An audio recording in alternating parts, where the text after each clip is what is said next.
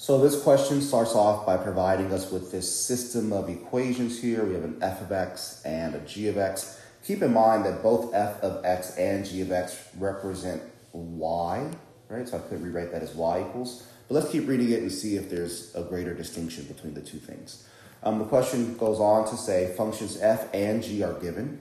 In function f, b is a constant. All right, I hadn't noticed that b, so b is a constant if f of x times g of x equals 9x to the fourth minus 26x cubed minus 3x squared, what is the value of b?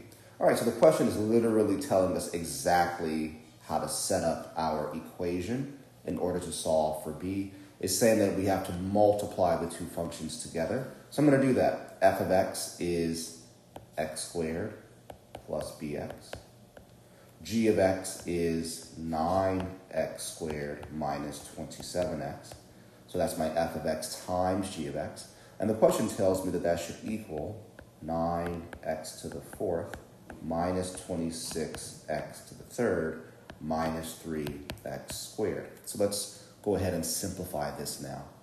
So to simplify, I'm going to FOIL first times first thing here, x squared times x, I'm sorry, x squared times 9x squared would be 9x to the fourth power. And then the outer terms, x squared times negative 27x would be a negative 27x to the third power. Then the inner terms, bx times 9x squared would be a positive 9bx to the third, which I believe is all we're going to need here.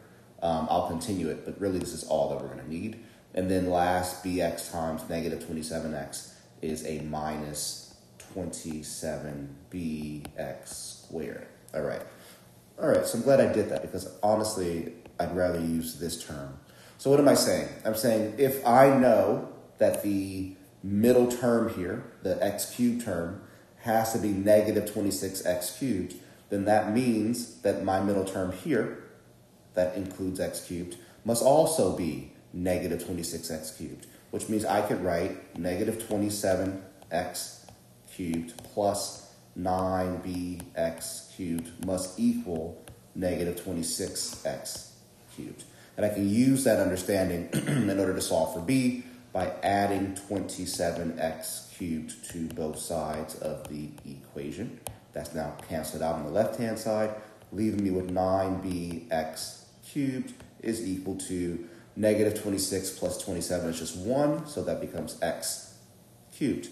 Now, if 9bx cubed, oh, I can go further. Divide by x cubed on both sides. So that's gone. This becomes 1. So we have 9b equals 1. Divide by 9, divide by 9. And b is equal to 1 ninth, right? So choice C is the correct answer. Alternatively, we could have said, well, if I have a negative 3x squared here as my last term, but I have a negative 27bx squared here as my last term, I can set those two things equal to each other. Right? And I think it would have taken a little less time. Negative 3x squared is equal to negative 27bx squared. We divide both sides by negative 3x squared, actually. So the left side is 1, and this is going to equal 9b, and you can see we get there a bit faster than the previous option. So 1 ninth equals B. So there's our answer, choice C. At the end of the day, the question told us exactly what to do, and your only job was to simplify this, right? To simplify all of this using FOIL, and then we matched, right? So this is like a simplify